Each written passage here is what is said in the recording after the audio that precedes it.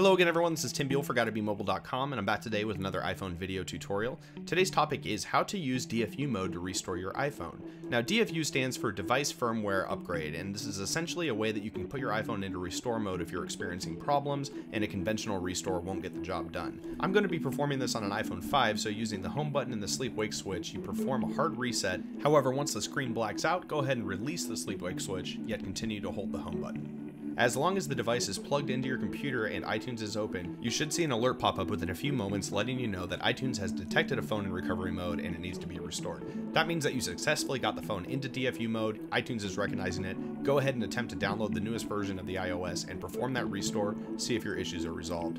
DFU mode is definitely not something you want to do every single time that you're restoring the device, it's a little unnecessary and usually you can just restore through the general settings on your iPhone or just use iTunes conventionally. However, if you're jailbreaking or having some issues with the operating system, this is a good first place to start. Again, use DFU mode only when you need to, but I hope you found this helpful in resolving your software issues. Take care.